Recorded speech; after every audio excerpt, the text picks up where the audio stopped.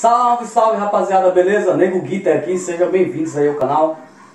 Rapaziada, hoje estamos aqui novamente com o nosso pedalzinho aí, ó. Cube Baby, Cube Baby. No vídeo de hoje, galera, vou estar tá mostrando como gravar com ele sem usar, sem utilizar computador, usar ele como interface, mas usando celular. É, o projeto desse celular Errou!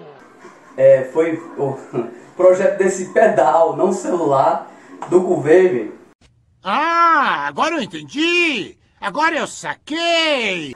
Foi esse, para você praticidade, para você usar ele como interface, mas usar ele como interface em celulares, né, mobile, não lá no computador. Por isso que existe uma latência grande usando ele no computador.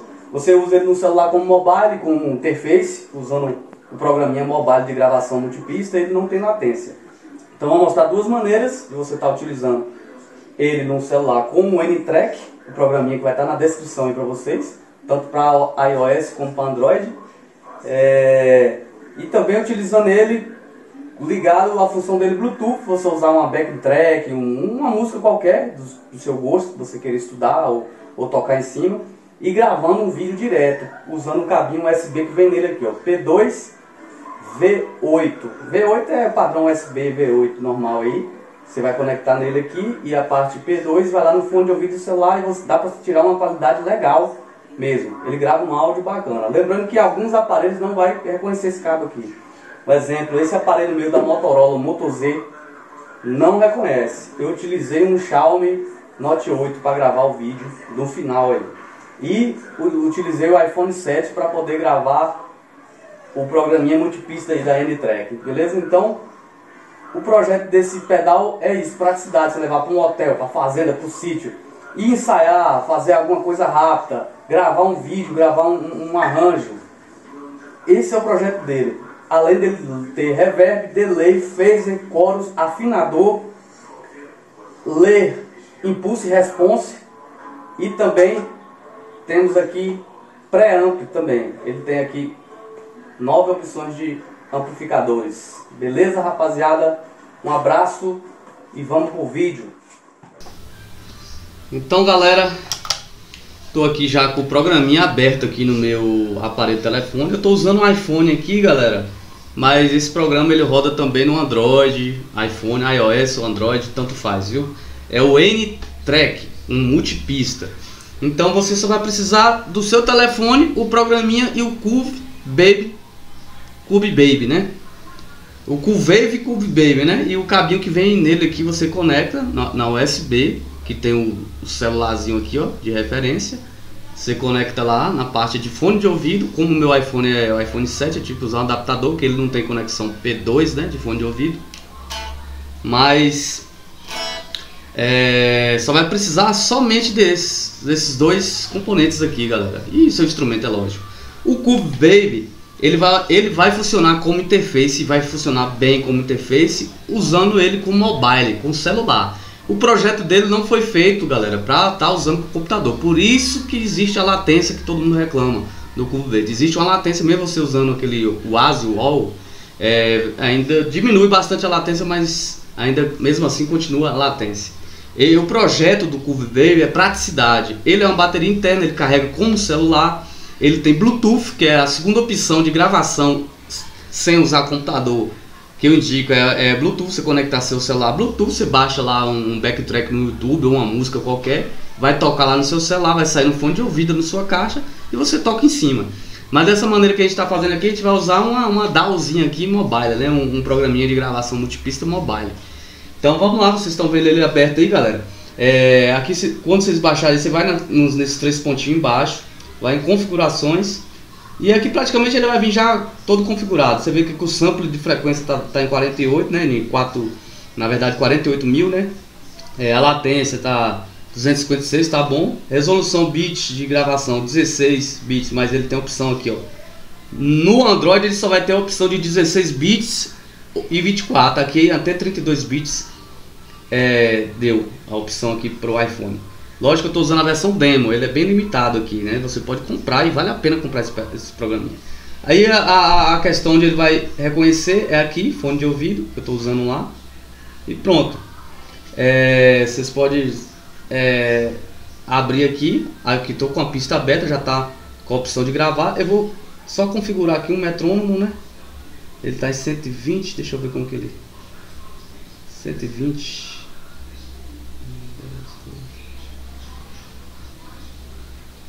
123 eu deixei ali, configurei e vou voltar ele aqui. Pronto. O metrônomo já está batendo aí, eu vou a guitarra, o ver guitarra. Fazer uma, alguma coisa bem simples aqui, só para vocês terem uma noção. Vou gravar.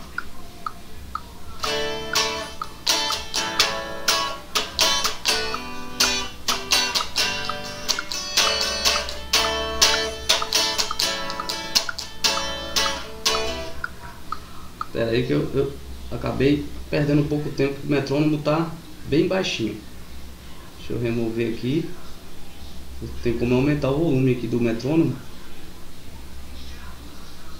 Volume, aumentei. Vamos aumentar o volume do metrônomo pra gente gravar aqui. Eu vou baixar um pouco aqui o sinal, né? Vamos lá.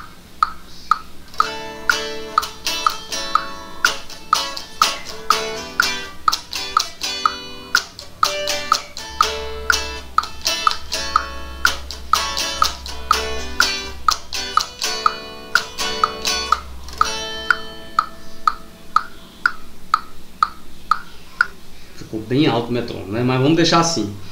Aí para adicionar uma nova track, galera, a gente vai aqui nessa pastazinha aqui com sinal de mais. Vou adicionar uma nova track. E aqui eu vou botar um chorus, né? Já para ficar legal aqui, ó. Eu já vou jogar para o lado esquerdo essa base, o chorus. Opa. Bem. O chorus eu vou jogar para o lado direito. Vou selecionar aqui microfone. Vou jogar o chorus aqui agora, viu?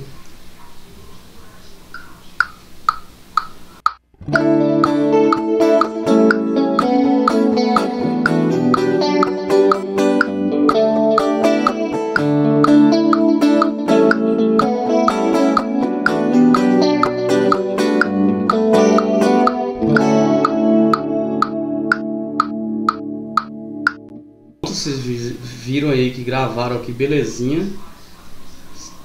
Olha como que tá.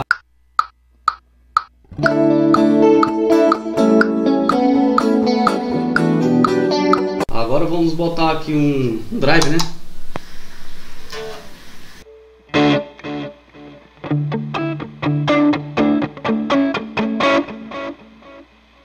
Você pode botar uma backtrack, uma música para vocês tocarem em cima aí, tanto faz. Eu tô aqui brincando aqui, né? Selecionar aqui a saída de microfone. O ruído tá aparecendo aí. Vou abaixar bem o volume. Esse aqui eu vou deixar lado esquerdo também. E vamos lá.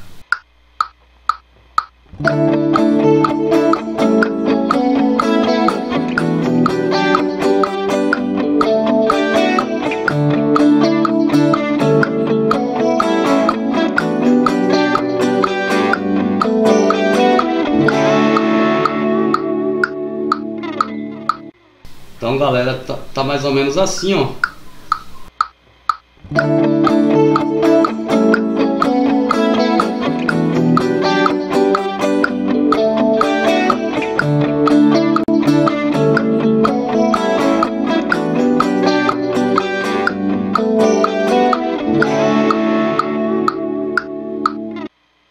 Esse metrônomo aqui, que já tá chato, vou desligar ele.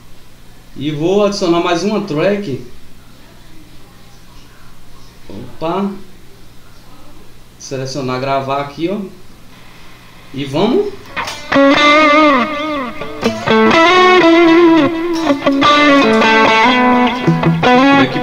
Ele, a latência dele é mínima, quase imperceptível.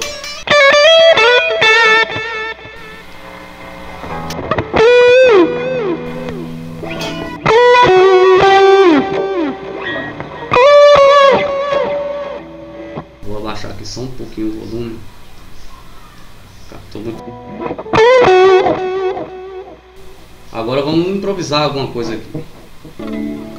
Opa, fiz errado.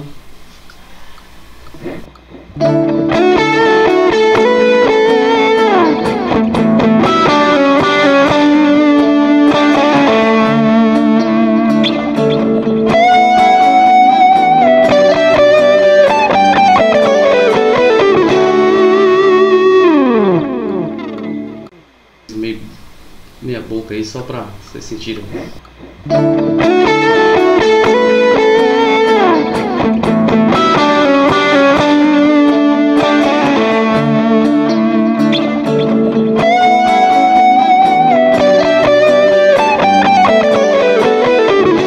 Todos os efeitos aqui do Cube, Cube Cube Baby e somente o aparelho celular aqui. Com esse programinha música, uma trap, gravar aqui uma base, um, solo de uma música. Poderia tranquilamente fazer também, galera. Então